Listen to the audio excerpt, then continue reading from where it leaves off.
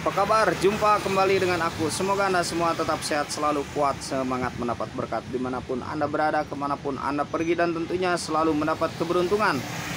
Di hari-hari yang Anda lewati juga mendapatkan keajaiban yang nyata berhasilnya cita-cita, harapan, dan impian.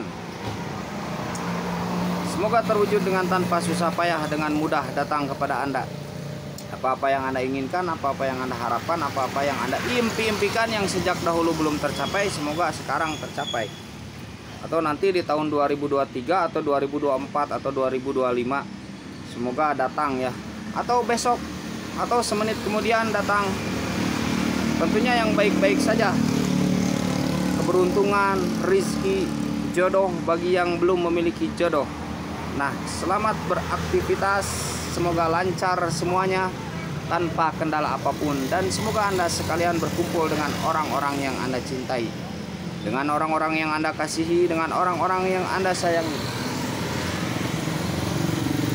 Tentunya dengan penuh kebahagiaan ya, ketersalingan, keharmonisan, kasih sayang. Salam alien, salam kopi hitam, salam hati sehat. Tetap optimis. Nah, zodiak Ari, eh, zodiak Aquarius mendapatkan pendamping hidupnya Zodiak Aquarius mendapatkan pendamping hidupnya. Semoga cepat, sekarang, besok, bulan depan, dan tahun depan. Atau tahun-tahun berikutnya semoga datang pendamping hidupnya ya. Yang sudah punya pendamping semoga tetap berada dalam keharmonisan. Mudah-mudahan menjadi makin mesra. Yang belum punya pendamping Semoga mendapatkan pendamping yang setia. Kesetiaan itu perlu. Loyalitas itu diperlukan. Caranya bagaimana? Caranya. Nah, ini masalahnya.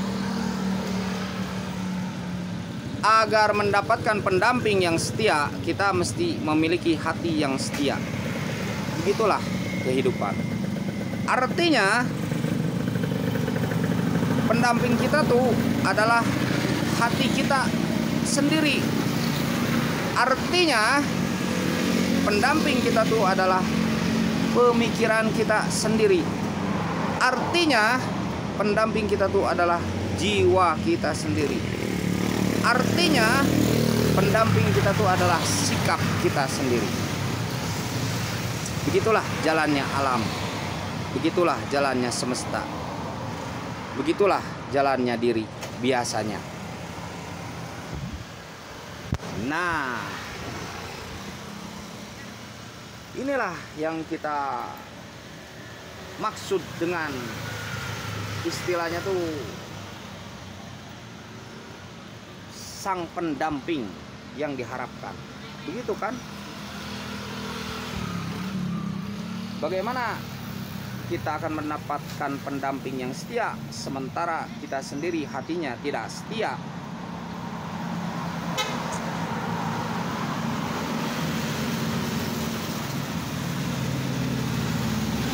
Bagaimana kita mendapatkan cinta dari sang pendamping yang begitu besar cintanya jika hati kita menutup atau menyempitkan cinta tersebut?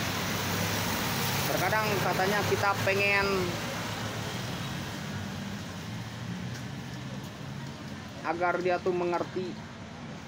Terkadang katanya kita pengen agar dia tuh memahami. Terkadang kita pengen agar dia tuh mencintai setulus hati. Tapi kita sendiri tidak pengen untuk mengerti. Tapi kita sendiri tidak pengen untuk memahami. Tapi kita sendiri tidak pengen untuk mencintai setulus hati. Bagaimana itu bisa terwujud sementara kita sendiri tidak peduli dengan semua itu? Kita hanya bisa mewujudkan ketika kita peduli dengan semua itu. Betul tidak? Oh tidak ya nggak apa-apa. Tidak juga wajar perbedaan itu wajar tapi jangan menjadikan perpecahan. Dengan perbedaan nada-nada musik jadi harmonis. Begitulah inti dari kehidupan. Begitulah inti dari semesta raya. Begitulah inti dari langit dan bumi. Ada langit ada bumi ada siang ada malam ada sepi ada ramai. Ada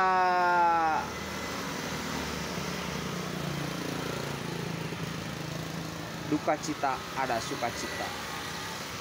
Ada sedih ada gembira. Itulah perbedaan itulah ke keajaiban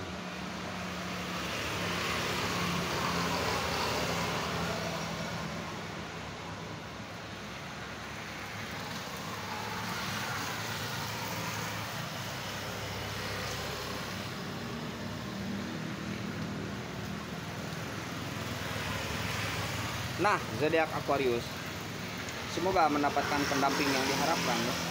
Dan pendamping itu kelihatannya nih zodiak Aquarius yang lebih tua kelihatannya, tapi mungkin bisa yang lebih muda. Bagi wanitanya yang lebih tua kelihatannya, tapi bisa mungkin yang lebih muda. Bagi laki-laki Aquarius yang lebih muda bisa jadi yang lebih tua. Nah gitu ya. Jadi namanya ini ilmu bisa jadi. Segala bisa mungkin segala bisa jadi dan tidak mustahil untuk akal. Itulah akal sehat. Akal sehat itu begitu tidak ada yang mustahil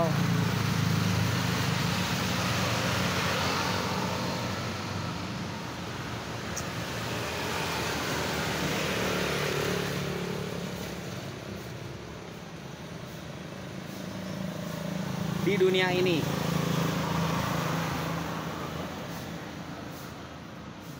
Di dalam diri manusia ini bisa saja terjadi begitu, bisa saja terjadi begini.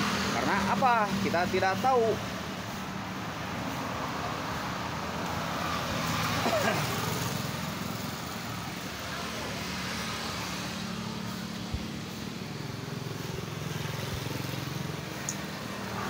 Kita kita tidak tahu berikutnya apa yang terjadi. Kita tidak tahu sedetik kemudian.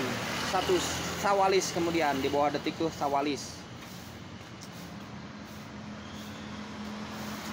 Satu jam 60 detik satu detik 60 sawalis. Begitu ya semoga mendapatkan pendamping yang diharapkan. Sehat selalu